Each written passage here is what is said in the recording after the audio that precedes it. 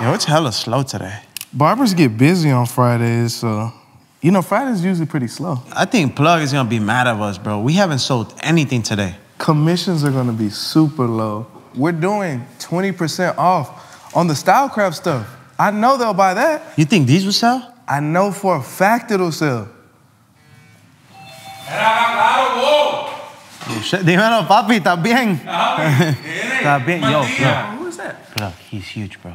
Let me take care of him. No, I got this. I got Bro, it. you don't speak Spanish. He only speaks Spanish. Yo hablo español oh, poquito. Oh, poquito. man, come on. Bro, I'm gonna make this guy spend at least $5,000. Five grand. Trust me. All right. All right. Handle Trust. it. All right, Handle gotcha. it. He's known as the GOAT, and his name is Los Cuddy.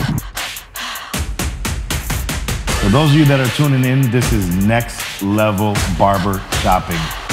If anybody knows sharp implements, sharp tools. If you had to pick one person, who would that be? Mr. Official? Okay, man, these ain't it, man.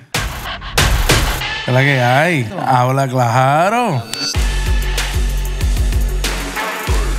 Today might not be your time, but in the next five years, you might be the next best thing.